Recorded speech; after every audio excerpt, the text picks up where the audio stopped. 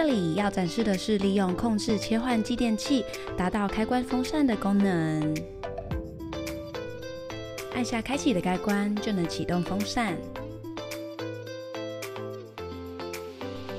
按下关闭的开关，则会切断风扇的电源。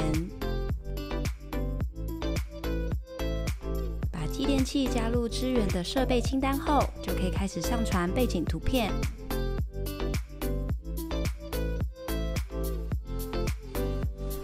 接着打开控制平台，点选继电器，将它拖拉至适合的位置。点选右键，进入设定画面。输入设备的名称，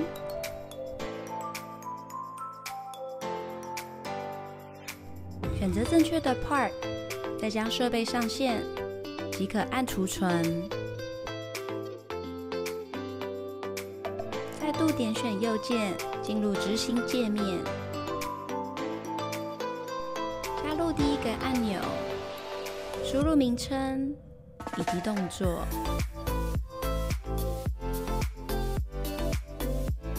同样的道理，再加入第二个按键，完成可以关闭电源的效果。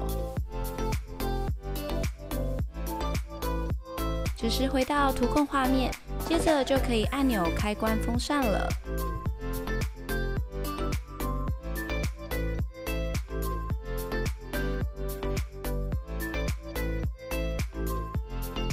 当然，我们也可以与更多设备联动，像是加入瓦斯侦测。如果浓度太高，就会自动打开风扇，并触发赖推波之类的告知。